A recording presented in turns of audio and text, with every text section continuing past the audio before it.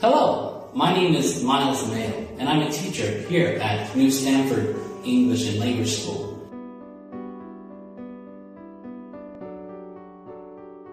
I've always loved languages. I found them to be very interesting.